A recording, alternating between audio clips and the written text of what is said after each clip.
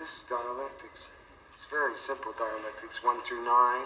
No maybes, no supposes, no fractions. You can't travel in space. You can't go out into space, you know, without like, you know, uh, with fractions. What are you going to land on? One quarter, three eighths? What are you going to do when you go from here to Venus or something? That's dialectic physics, okay?